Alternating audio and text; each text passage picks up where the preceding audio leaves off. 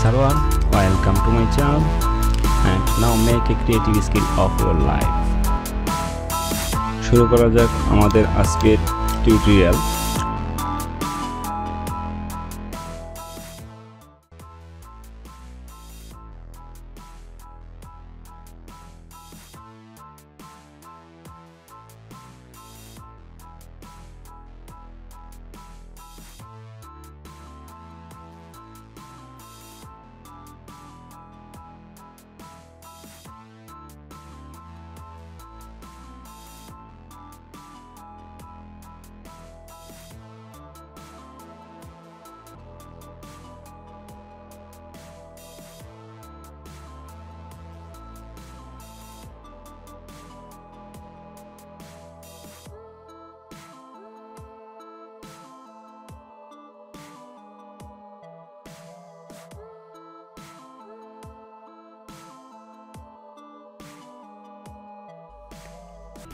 ধরেন আমি একটা ফান ফানি একটা মুভি তৈরি করব বা আপনি একটা ফানি মুভি তৈরি করবেন, সেক্ষেত্রে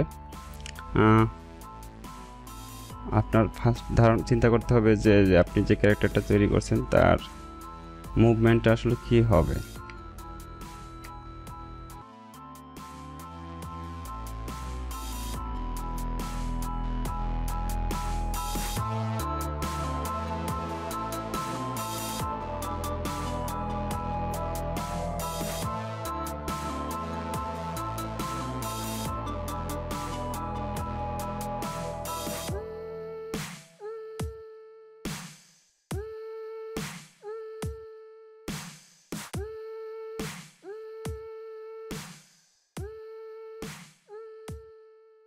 শুধু আপনারা আমার শেপগুলো ফলো করেন, যার ফলে আমি একদম রিয়েল টাইমে রিয়েল ওয়ার্ক অর্থাৎ আমি এই ভিডিওটা কোনো স্পিডে বা অনেকে স্পিডে দেখায়। তো আমি এটার স্পিড বাড়াইনি যে আপনাদের দেখার সুবিধার্থে।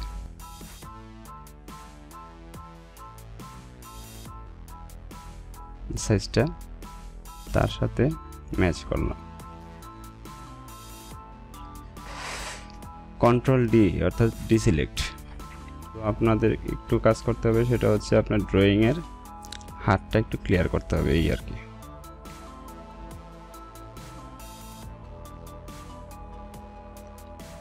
ছোট্ট বন্ধুদের জন্য বলছি, তোমরা যারা দেখছ এর জন্য ওয়াটার কালারের কিছু কাজ আছে, ওগুলো দেখাবো নেক্সটে শুধু আমরা রং তুলে দিয়ে ছবি আঁকতে পারি তা না কীভাবে রিয়েল একটা ওয়াটার কালার শেপ কম্পিউটারেও আমরা করতে পারি বা লোগো ডিজাইন ইলাস্ট্রেশন এই দুইটার সাথে আরও কিছু অ্যাড করতে চাই। সেক্ষেত্রে আমরা সমস্তটা একবারে ছোট করে দেই।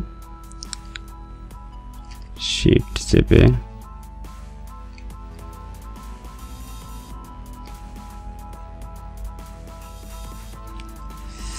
কন্ট্রোল ডি আচ্ছা।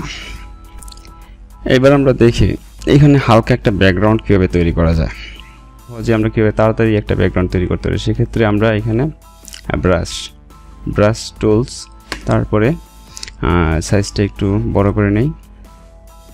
আর ডিজাইন আপ আমার চ্যানেলটির নাম ডিজাইন আপ তো আমরা এখানে ডিজাইন ব্যাকগ্রাউন্ডটা করার সময় আমরা আপ থেকে শুরু করব, অর্থাৎ আকাশ। উপর থেকে আমরা আঁকাটা শুরু করি।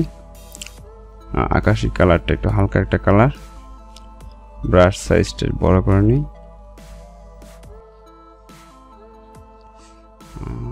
কালার চেঞ্জ, তারপরে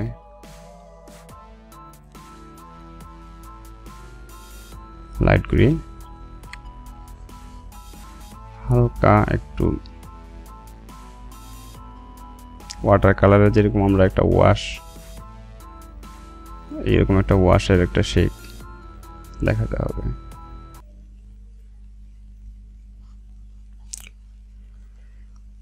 ব্যাকগ্রাউন্ড আঁকার বেসিক একটা ধারণা। বা ব্যাকগ্রাউন্ডে আপনারা বেশি কাজ করা দরকার না, যেহেতু আপনারা সাবজেক্টটা হচ্ছে আপনার কার্টুনের অ্যানিমেশনটা আসলে কি নিয়ে করতেছেন, বা একটা গল্প বা একটা ফান থাকবে, ওইটাই হচ্ছে আপনার মূল ওইখানেই আপনার সময় বেশি দিবেন বা ওইখানে একটু কাজ বেশি করেন। ব্যাকগ্রাউন্ডটা দরকার নাই তা না ব্যাকগ্রাউন্ড আপনি নিজের করাটাই ভালো। আপনি অন্য জায়গা থেকে কপি করার তো দরকার নেই। কপি থেকে আমরা দূরে থাকার জন্যই মূলত আজকের এই কাজগুলো আমরা চেষ্টা করতেছি, কষ্ট করতেছি আমাদের জিনিসটা নিজে থেকে তৈরি করা। ব্যাকগ্রাউন্ডে আমি তেমন কিছু করলাম না জাস্ট একটু একটু হালকা একটু শেপ দেখালাম। যদি আপনার ইচ্ছে হয়, দেখা গেছে হালকা আর একটু কিছু যদি দেখাতে চান, সেই ক্ষেত্রে একটা আমরা করতে পারি এখানে। ফেদার একটু বেশি ব্রাশটার সাইজ একটু বড় আসলে টোলস সম্পর্কে আমি বেশি কিছু বলছি না কারণ আমরা অনেক আগে থেকে দেখে আসছি যে পেইন্ট নামের একটা সফটওয়্যার ডিফল্ট আকারে থাকতো। আমরা Windows seven XP ninety five সব ইউজ করছি সবগুলোতেই ছিল। হ্যাঁ ওইখানে যে কটা টুলস আছে তার চেয়েও এখানে অনেক কম। সো এই বিষয় নিয়ে আমি বেশি বাড়তি কিছু বলছি না দেখলে আশা করি বুঝতেছেন। Do you have any confused just comment please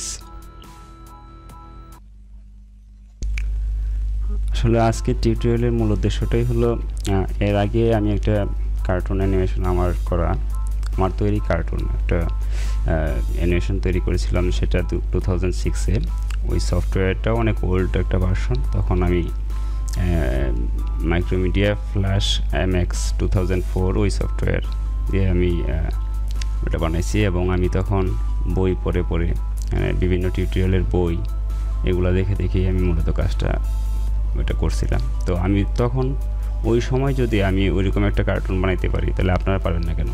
আচ্ছা যাই হোক, এখন তো after effect Adobe flash CC version আরও উন্নত উন্নত অনেক ভালো ভালো সফটওয়্যার আসছে বাজারে। যাই হোক, তো আমার আজকের এই ভিডিওটা দেখার পরে আপনাদের কাছে আমার একটা প্রশ্ন থাকবে যে এখানে আমি আপনাদেরকে আরও কি দেখাতে পারি বা আরও কি দেখালে আপনাদের সহজ হবে অল্প সময়ে কি অ্যানিমেশন করতে পারি কি না এইসব বিষয় নিয়ে আপনাদের কাছে আমার রিকোয়েস্ট একটাই যে আমার প্রশ্ন থাকলে তা আমাকে ফিল ফ্রি জানাবেন প্লিজ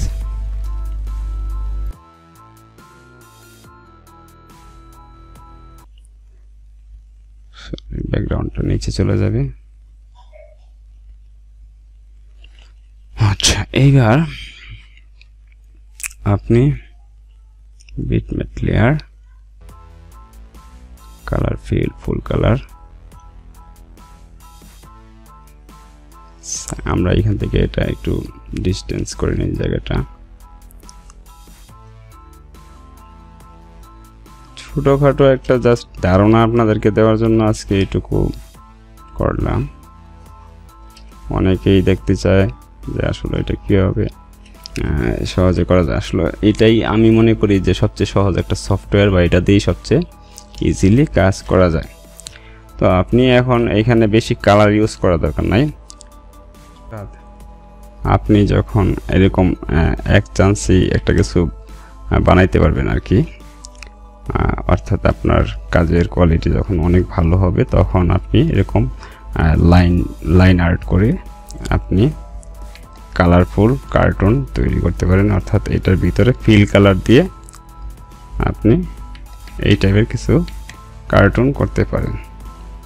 যাই হোক, এটার উপরে আশা রাখছি যে নেক্সটে আরও ভালো কিছু দেখানো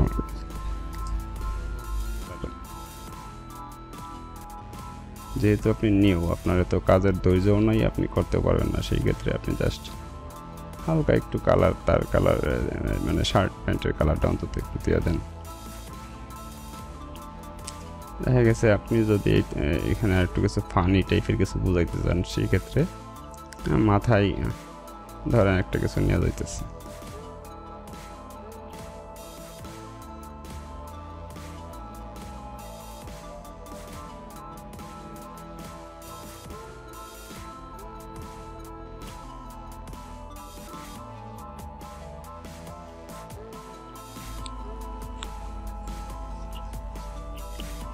আচ্ছা নিচে একটা শেডও দিতে পারেন। অর্থাৎ এখানে দাঁড়িয়ে আছে তাদের একটা ছায়া ছায়া দেখাতে পারেন। কাজ যত নিখুঁত করতে চান, সেক্ষেত্রে আপনার অবশ্যই কষ্টটা একটু বেশি করতে হবে, এটাই স্বাভাবিক, এটাই আমরা জানি সবাই। প্লিজ আপনারা আমার চ্যানেলটি সাবস্ক্রাইব করে রাখবেন। পরবর্তী আপডেট পাওয়ার জন্য। কারণ যদি আপনার শেখার আগ্রহ সত্যি থাকে সেই ক্ষেত্রে অন্তত আমার, আমি আমার দ্বারা যতটুকু পারি চেষ্টা করব আপনাদেরকে।